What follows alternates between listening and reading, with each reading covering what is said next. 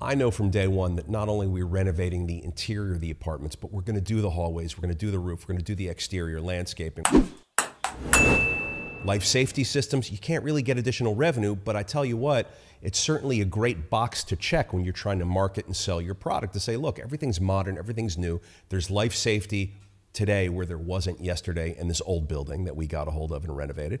So, a lot of capital expenditure projects will yield revenue right off the bat Many won't. You know, when we landscape, it's such an important thing to do and it adds so much value. It's curb appeal, it's a way easier sell to the marketplace if your building just looks good from the outside.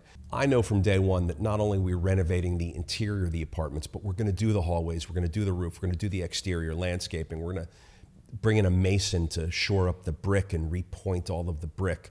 Uh, we're going to put drainage in the ground so that the runoff that hits the roof doesn't just spit out into the parking lots and then turn into a sheet of ice in the wintertime at night. So we're going to put the drainage into the ground and out to the storm sewer. I mean, simple things, it just costs money and you have to do it. And these older buildings, they didn't really have any of this stuff.